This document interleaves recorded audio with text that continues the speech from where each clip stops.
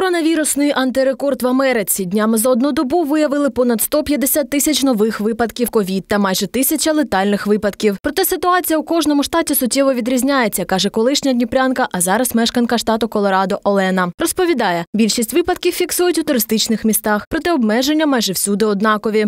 Можливі заходи вуличні, тобто це 175 людей.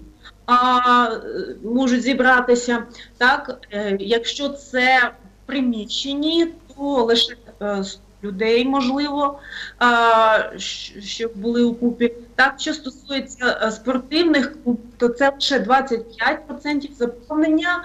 І ну, якщо це там якесь групове заняття, то лише 25 чоловік. А от у Литві кожному місцевому мешканцю про нові обмеження сповістили в СМС. Відтепер у країні всі клуби, бари та магазини обмежили роботу, а деякі навіть взагалі закрилися. Пришло сообщение на телефоны, что теперь, выходя на улицу, мы должны с собой постоянно брать маски.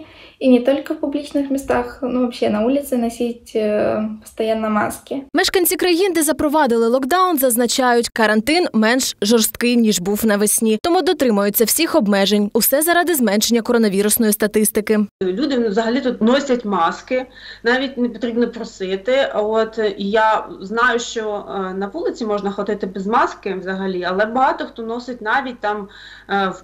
Десь там в диких ну, у нас є такі open spaces, так ну такі парки, де в принципі можна загубитися і нікого не побачити за цілий день, коли ти тут гуляєш. Але вони все одно носять маски, навіть якщо немає як такової загрози. У Польщі в зв'язку зі зростанням випадків зараження коронавірусом влада ухвалила рішення закрити непродовольчі магазини в торгівельних центрах, театрі і кіно. Всі учні перейшли на дистанційне навчання. Якщо число інфікованих стрімко ростиме, то в Польщі запровадять національний карантин і заборону на поїздки. Такі заходи безпеки, переконані за кордоном, дозволять стримати поширення інфекції, поки не з'явиться вакцина від коронавірусу. Наразі в більшості країн локдаун ввели до кінця листопада, проте планують продовжити його як мінімум до кінця року. Вікторія Вахрушина, Євген Коденцов, Олександр Вернегоров, Open News, телеканал відкритий.